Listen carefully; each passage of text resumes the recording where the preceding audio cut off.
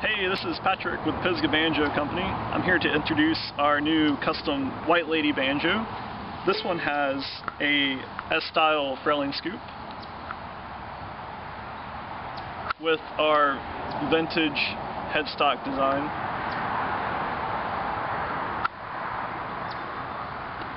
And of course, White Ladye Turner.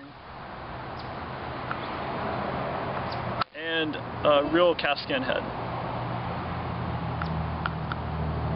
So I'm going to pick a little bit of Rove Riley Rove in the of D.